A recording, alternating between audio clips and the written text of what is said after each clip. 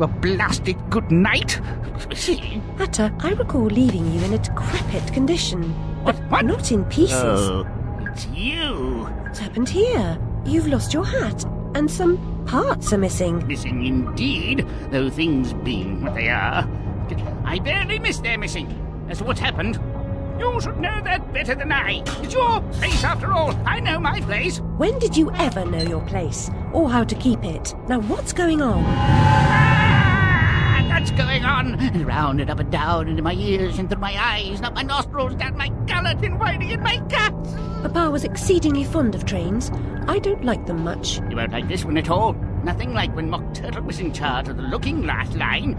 This railroad's a bloody shambles. The stink is ferocious, light blinding, the noise hellacious. Ah, hellacious. quite, Hatter. I get the idea. A bad train. The world is upside down, Alice. Inmates run the asylum. No thanks. And worst of all, I'm left tealess. Tragic. If I do help, will you help me in return? Cross my heart if I had one. Find my limbs and toss them into the chute. Machines will do the rest. Be on your way now. That's a good girl. Best way out is through the clock face.